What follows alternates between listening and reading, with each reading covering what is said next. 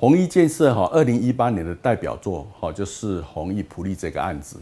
那弘毅普利这个案子，它位在哈台中市北屯区哈太原路上，它是五十米的一个林荫大道。产品的部分的话哈，我们规划是地下三层哈，地上十五层的一个饭店式集合住宅。产品的定位的部分，我们定位在两房跟三房的产品。当初公司在规划的时候，很重视采光，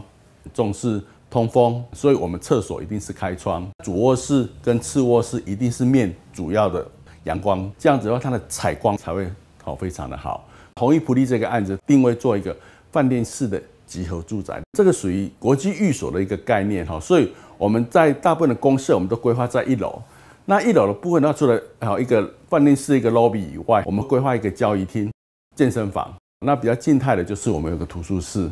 弘毅普利这个案子附近的话，哈有两大商圈，第一大商圈就是速效商圈，哈，第二大的商圈就是东山，哦，生活圈，生活机能是非常棒的。交通建设的部分，这位于七十四号太原匝道下来以后，我们就可以到我们这个基地了。再往市区一点的话，就是有临接捷运红线的太原站，所以交通是非常非常的便利。我们的学区的话是军工国小，好跟东山完全中学。公园的部分的话，我们这边带就新都新公园，还有铺新公园，还有离大坑风景区也非常非常的近，所以我们这是属于离城不离城，哈，一个非常好的一个点。